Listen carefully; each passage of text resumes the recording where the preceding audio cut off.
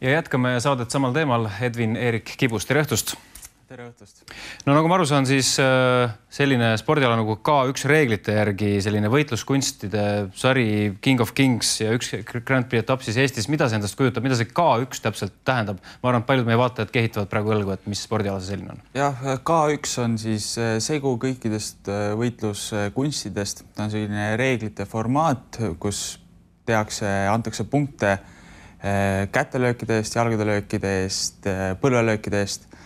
Ja võitlus toimub ringis ja püsti olles, et seal sa ja see K1, mida see siis tähendab, K ongi võetud nagu see K-täht, kuna see esineb kõikides paljudes võitluskunsti nimedes boks, taekwondo, kick-poksing, siis on see K sealt võetud.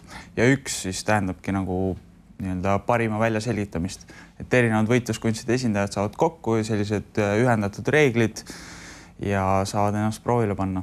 No ma aru saan, te ise tegelete hästi palju äh,, olete tegelenud tai-poksiga, mis äh, võitluskunstid need veel on siis, mis äh,, mida te valdate ja mida siis seal saab kasutada? Tai-poksiga ma olen jah tegelenud kõige-kõige rohkem, kõige kauem. Aga alustasin karateega, kung-fuga olen kokku puutunud, praegu teen lisaks klassikalist boksi ja hiljuti ka taekwondo'd no millised on siis eestlaste lootused, ma saan aru, et siin on väga suure võistlusega tegemist ja ka maailma mingid tipud tulevad kohale, et kas eestlased öö, saavad hakkama nendega? ma usun, usun küll, et saavad, endas ma olen väga kindel, teistes tegelikult ka, et koos me oleme treeninud just selle võistluse jaoks. ja jah, ma usun, et me oleme võidukad ma saan aru, et teie võistlete super fight klassis. mida need erinevad klassid seal tähendavad? Et äh, on võistlusel on äh, turniiri formaadid, kus võistlejad, äh, kes võidavad, pääsevad edasi siis järgmisele võistlusele, aga supermatšid siis teevad seda, et on kohe pandud kokku siis kõrgemal reitingus olevad võistlejad Eesti, Eesti parimatega ja siis ühes nendest olen mina, teises Maksim Vorovski. nagu ma aru saan, siis maailma üks tuntumaid telekanaleid Eurosport, millel on, ma ei tea, sada viiskümmend miljonit vaatajat umbes võib-olla sellel, sellel võistlusel, et, et kas see on pannud mingid erilised pinged ka peale, et, et me teame, et, et Eurospordis tehakse ülekanne? kindlasti on nagu selles suhtes pinge, pinge suurem, et, et ma esindan Eestit Eesti, esindan Eesti võitlejaid, seda sporti ja nii palju inimesi näeb mind, et on nagu suur-suur vastutus. aga samas on ka niisugune mõnus motivaator.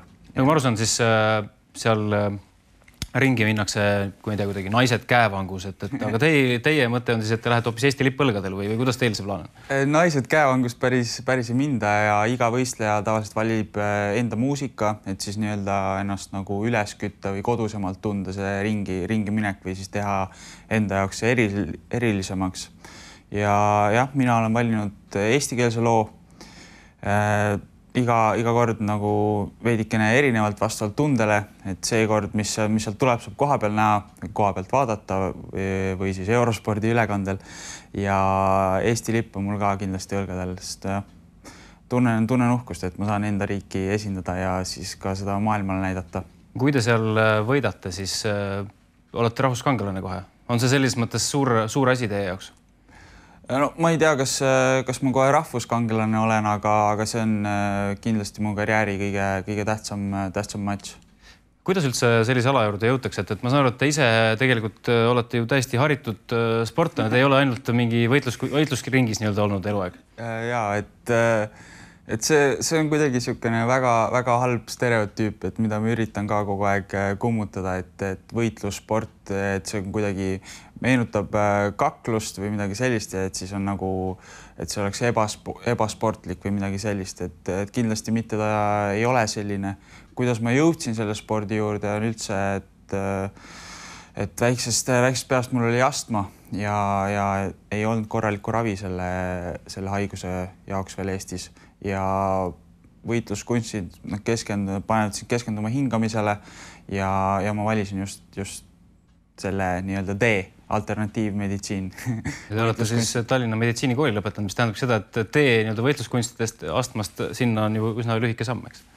Äh,? jah, et äh, ma arvan, et äh, need asjad, asjad nagu toetavad üksteist kuidas üldse see filosoofia on, et kas, äh, kas noh, minul näiteks endal on kümneaastane poeg, et, et kas, kas te soovitate panna teda ma ei tea, võitluskunstide trenni, et, et hakkaks tegelema, ma ei tea, siin tai-boksi või sellise spordialaga, et, et, et miks see hea on? ja kindlasti võib, võib proovida, aga see on nagu, nagu kõikide asjadega, et peab huvi olema selle vastu.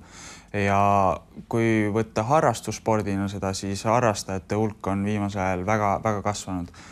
väiksed lapsed ja naised tüt, tütarlapsed, et ma ise just annan ka treeninguid praegu viin läbi äh, Sparta spordiklubis ja minu rühm on siis kolmteist kuni seitseteist aastat noored ja uusi algajaid tuli kakskümmend viis, nendest kakskümmend on tüdrukud, et äh, ka võib-olla selline nii-öelda mitte, mitte tavapärane, mida võiks oodata, et tüdrukud teeksid taiboksi trenni, aga see on, näitab jälle seda, et see sport võib olla kõigile, kellel on huvi selle vastu ja te ei õpeta ju ainult äh, kaklema inimesi, vaid te õpetate pigem seda filosoofiat ja kõike sinna juurde kuuluvat. ei õpeta üldse kaklema, et see on, et jah, et see on ikkagi sport, seal on kindlad, kindlad reeglid ja ja jah, see baaskursus nii-öelda tutvustav, et seal ei, seal ei ole midagi nagu vägivalla või löömisega nagu selles suhtes äh, tegemist, et vastutahtmist keegi, keegi seal teist jah, lööma ei pea aga räägime siis korra veel sellest King of Kings äh, Grand Prix etapist, et äh, mida